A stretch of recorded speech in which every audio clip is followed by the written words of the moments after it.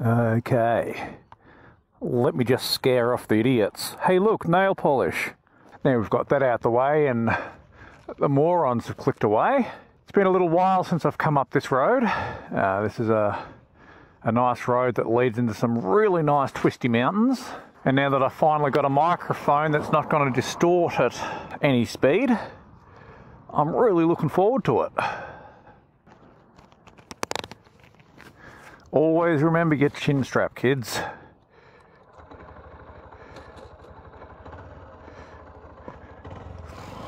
Okie dokie.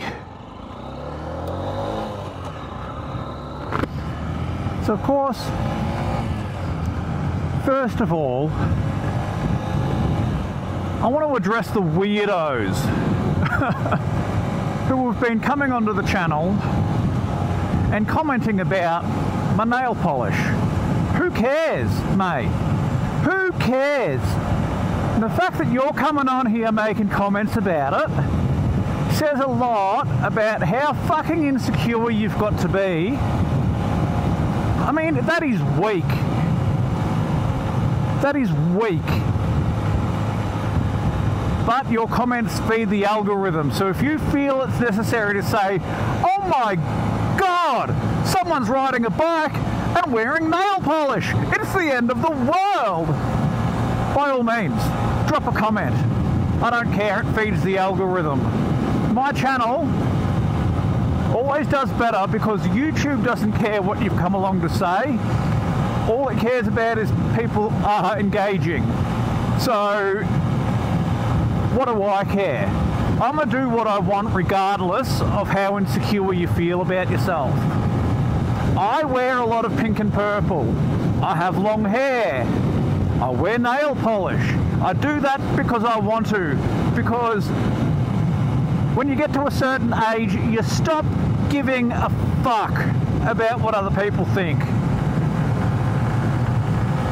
And that's liberating to me. I don't give a fuck what you think.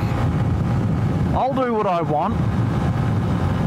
I chose to ride a 125 because I didn't feel it necessary to try and get the fastest thing on the market to prove a point. Who cares? Now we've got that out the way, we can just get on with it and enjoy some scenery and have a nice ride because that's what I came out here to do. I ride a 125 because I like riding and I like the fact that it sips on fuel. I like the fact that when I break something, I can learn how to fix it. I mean, that was entirely the point in getting such a simple bike as well. I wanted to learn how to do my own maintenance, and this bike has been fantastic for that. And I, have said it on my channel hundreds of times, literally hundreds of times.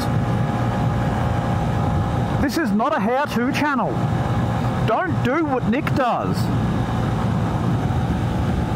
my principle has always been from the very beginning of building motorized bikes on the channel. It doesn't matter if I make a mistake and, and, and stuff something up.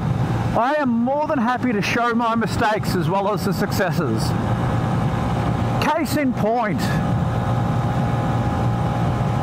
uh, last week I put up a video. What happens when you or it was a clutch adjustment gone wrong. I show what happened when I adjusted my clutch cable too tight. Now, one of the other very few informative CB125F channels out there, Richard Shepherd, has gratefully gone and put out a video very recently showing you how to do it properly. Incidentally, he's also got valve clearances, which is a, a common question as well. So I'm going to put that on a card right here. Go and check it out. Absolutely recommend Richard Shepherd. Don't do what Nick does. Absolutely do what Richard does. Uh, he's got a lot of informative content that's not going to lead you astray by copying some of the stupid shit that I do. I mean, it should be pretty obvious to anyone who's been following the channel for any period of time. My videos are entirely unscripted, and the downside of that, of course, is I can be riding along and entirely forget that there's a camera recording.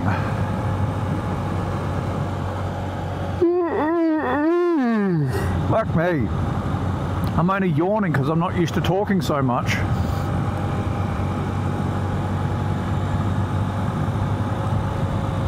Now you can start to see the roads are turning into something a bit more fun. What I love about this bike on roads like this, you can really forget the fact that you're only on 10 horsepower. Because this bike is enough to have fun on. You know, a little bike like this is, is not, it's not for adrenaline junkies, I wouldn't say. It's perfect for people like myself who know what they want out of a bike and don't care if it doesn't do 300 kilometers an hour. There's something deeply satisfying about twisting the throttle wide open and not even really having to care.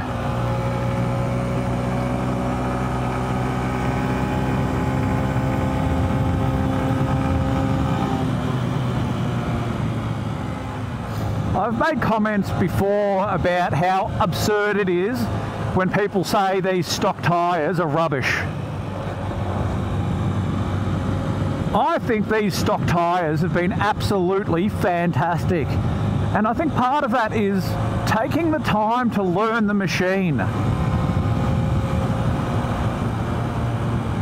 I'll say confidently that these tyres have saved me on more than one occasion where I've come into a corner too fast and I've had to brake and they haven't broken traction once. And I've driven in all sorts of conditions. You know, it's, it's not. I'm not just a sunny day rider. I'm an all-weather kind of rider. I will ride. It, uh, I've ridden in storm weather before. That wasn't fun, but the fact that I haven't been afraid to ride on gravel, to ride in the wet, means that I've taken the time to understand how the bike behaves in different conditions. And I think if I come into this going, oh, these tyres are skinny, they're going to lose grip, I think that's what, you know, you will manifest that. You learn to trust your tyres and you'll have a lot more fun. Yeah, these tyres are skinny, but that doesn't mean the bike can't be lent right over. It doesn't mean you can't slam on the brakes. I feel like this bike is almost perfectly balanced for the grip it provides under the power it provides and it has just enough braking force for the speeds that it's capable of. I mean, the other week I was doing uh, progressive braking practice and I realized that I had not ever slammed on the brakes at a high speed. So I made a point of slamming on the brakes at a high speed. Because you need to know what the bike's going to do. It's not enough just to, you know, slam on the brakes at 25 k's an hour like they get you to do on the license test. It's all part of understanding the machine that you're in control of. 117 kilos powered by explosions, and it's still pretty fucking pathetic. This bike has the, you know, has enough power to be dangerous. All bikes do.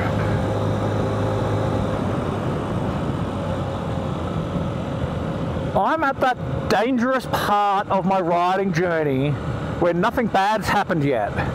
So I really do have to keep myself in check and make sure that I'm not becoming overconfident.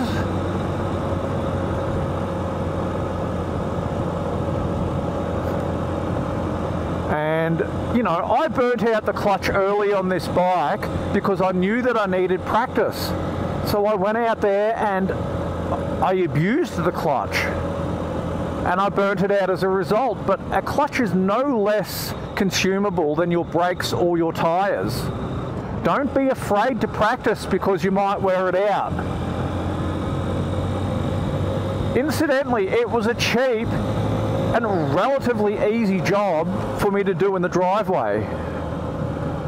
Once I'd uh, once I bought the tools I needed, I could do it in the morning. The longest part about the job, honestly, was waiting for the oil to drain. So next month marks my 12 months of riding and my goal is to get this bike up to 10,000 kilometres uh, by that milestone. And we're sitting on 9650 at the moment, and I've got no doubts that I'll be able to do that. And I'm not really sure if I'm going to do a video to mark the occasion. Um, at 5,000 kilometres, I made sure the bike was recording, uh, not the bike, I made sure the camera was recording for the moment I clicked over 5,000. And I might do the same for 10 but I've already said just about everything there is to say about this bike, so I don't really feel like there's any point doing another review. I, have thought about doing the whole is it a good learner bike thing, but I, I don't think that's fair of me to comment on because this is the only thing I've ridden in any meaningful capacity. I don't really have anything to compare it to you know, I have my own thoughts and opinions on whether or not I would recommend this bike to a learner rider in Australia, particularly in regional Victoria. Maybe I'll do that. I'll just put up a five minute opinion opinion video.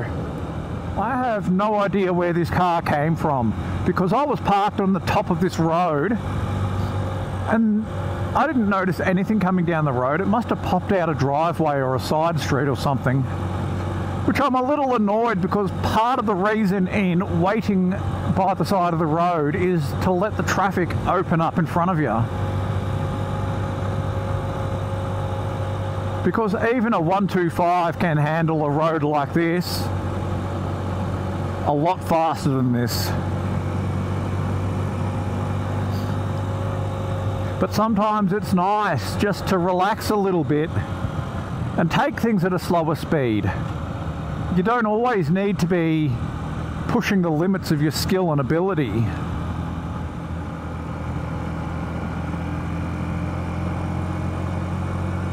I had one commenter ask me why am I always revving the bike so high? That's absolutely like a valid question because you don't need to have the bike revving high. I mean, we're doing 60 k's in fifth, but sometimes it's fun to sit in third and do this.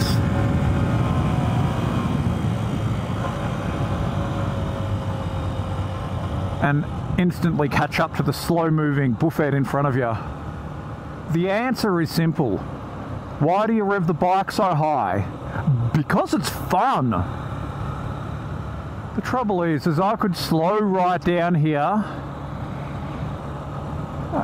and put a bit of distance between myself and the car in front. But they are travelling at a speed that I would catch up to in a matter of minutes. So I would rather just keep going at a nice, steady, relaxing pace. There's plenty of other opportunities for going a bit quick. I'm beginning to wish I had worn a jumper underneath my riding jacket because it is quite cool up here. Colder than I was expecting as well. I'm sure the camera won't show it up for anything other than a slightly darker shade on the road, but there appears to have been a little bit of rain last night and there's still patches of road that are still a bit wet and slick and they can be really hard to spot when you've got the shadow of the trees over the road as well. So I try not to get irritated because normally it's me holding up the traffic, not the traffic holding me up. Um, you know, I try not to get frustrated at not being able to go as fast as the bike possibly can, which is the way I ride this thing 90% of the time because it's a 125 and it doesn't go any faster. Uh, but you have a lot more fun on this bike if you just let it do what it wants to do.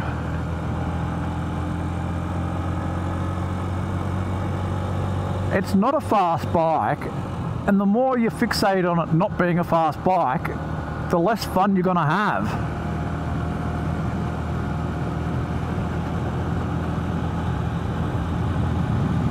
And you know what? For once, I'm having fun just taking it easy.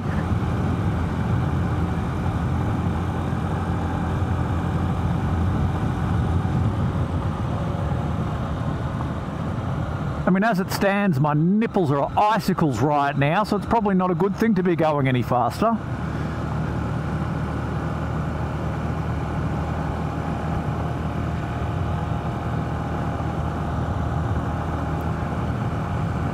The real plus side to taking it easy and not revving the shit out of this bike is my fuel's going to last even longer.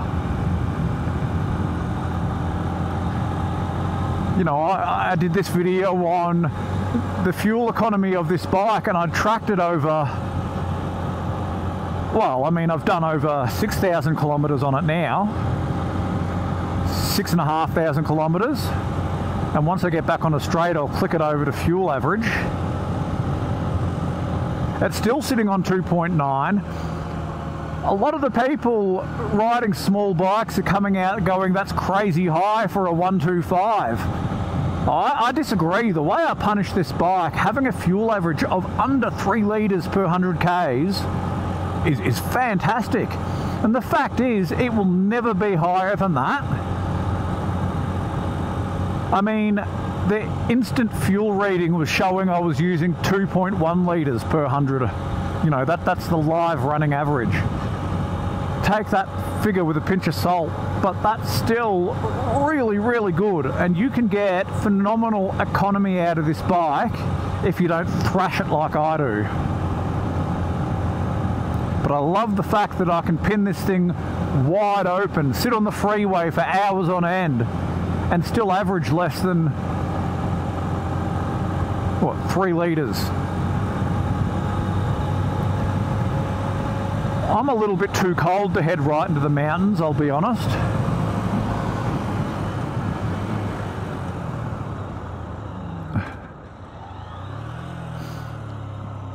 Oh.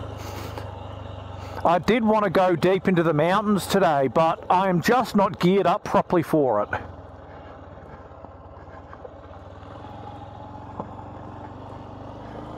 So I think I'll head back to civilization and I'll do the rest of that video another time. The plus side is turning around where I did. I didn't see any traffic coming in the other direction, so it means I have got the freedom to wind the bike up a little bit.